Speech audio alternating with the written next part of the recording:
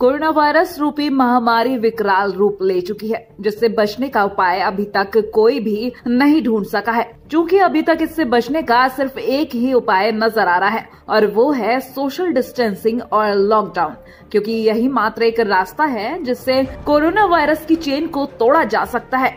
इसीलिए भारत में सरकार द्वारा देश को ही लॉकडाउन कर दिया गया है, ताकि लोग अपने अपने घरों में सुरक्षित रहें और कोरोना वायरस के संक्रमण को फैलने से रोका जा सके। आपको बता दें कि कोरोना वायरस से पहले भी दुनिया 1918 में स्पेनिश फ्लू का शिकार हो चुकी है। स्पेनिश फ्लू की वजह से पूरी दुनिया में कम से कम पाँच करोड़ लोगों की जान चली गई थी। केवल भारत में ही इस वायरस की वजह से एक करोड़ बीस लाख लोगों की जान गई थी। चलिए आपको बताते हैं कि जानवरों से ही क्यों फैलते हैं वायरस।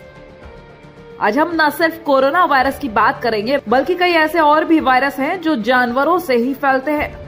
चीन से हाल ही में दो वायरस सामने आए हैं, एक कोरोना वायरस और एक हंता वायरस। बता दें कि चीन के वेट मार्केट में जानवरों, जिनमें सुअर, सांप, मेंढक और चमगादड़ समेत कई जानवरों को खुले में ही काट कर बेचा जाता है, जिसके चलते वहाँ इन जानवरों का मल, खून, पस, थूक आदि खुले में ही पड़ा रहता है, जिससे वायरस पनपते हैं। और जब मार्केट में लोग खरीदारी करने आते हैं, तब बड़ी ही आसानी से ये वायरस मनुष्यों के शरीर में प्रवेश कर लेता है।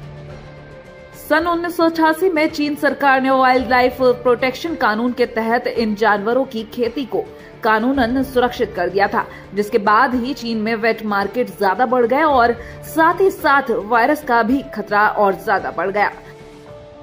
कुल मिलाकर चीन को पूर्णतया कोरोना वायरस के लिए जिम्मेदार माना जाता है। आपको बता दें कि एक रिपोर्ट के अनुसार चीन जंगली जानवरों का व्यापार करना चाहता था, जिस पर कोरोना वायरस की वजह से अब रोक लगा दी गई है।